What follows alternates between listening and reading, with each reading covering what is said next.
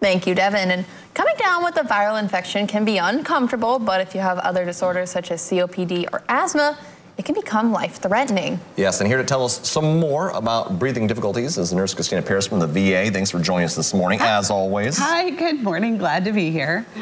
Now, it's an exciting time because you brought some toys with you as well. Now, and we've been playing with those before, you know, we got on air, but what is meant by shortness of breath and how does it differ, you know, for different people? Absolutely. So, you know, with all the viral infections mm -hmm. um, that we have going around with flu and RSV oh, yeah. and uh, there's some myo something viral mm -hmm. infection anyway.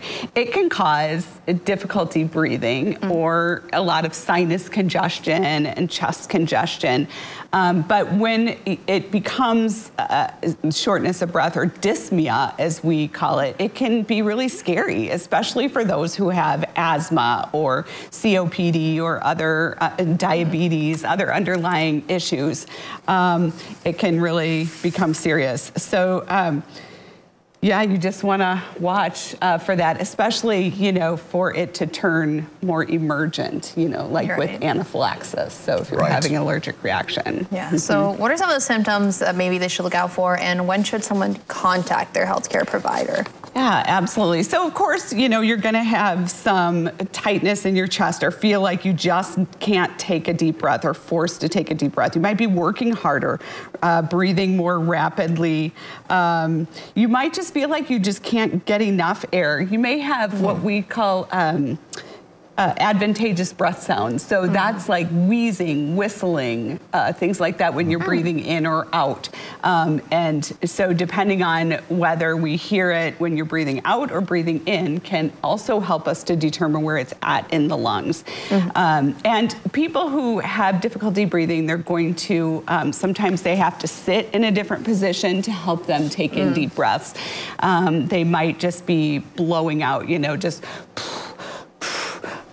they just can't catch their breath. Um, those are really serious. And when you get like that, you do want to go into uh, in the emergency department. So anytime that you think if you're having that breathing and you're having chest pain or you're having that and you're afraid of an allergic reaction, like maybe, you, know, you're allergic to bees, you got stung by a bee, now you're having that closing off right. of your throat so and you're just there. trying, yep, you want to watch for those things. High fever, chills, cough um, unusually, like I said, the whistling sounds or the gasping sounds. Mm. Um, and with babies, you wanna look for, like in their ribs, if their ribs start to suck in when they're mm. breathing, that can be a sign they're really working hard. If their nose kind of flares, that can be a sign, blue lips, mm. things like that. Now babies will compensate, but then decompensate like really fast. So they'll do really good and then just crash. So you really wanna watch that because eventually it will wear them out. And even with adults, can wear you out. Absolutely. Well, no, that is a good thing to certainly be on the lookout for. And is there anything that,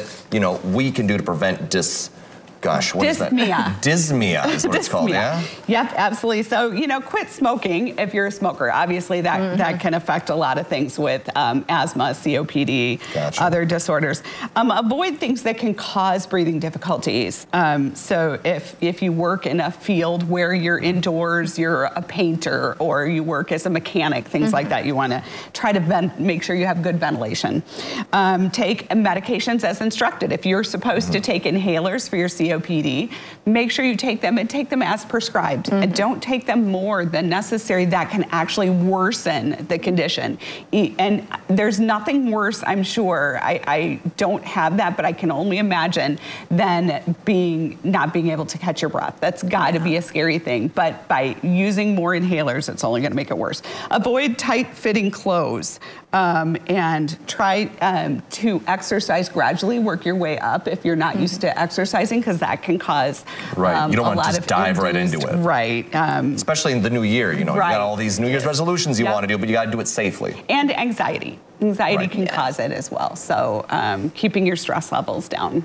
Interesting. Yeah. You want to tell us real quick about Yeah, this that you brought in absolutely. that um, So- was very nice to you guys and is not that nice to me?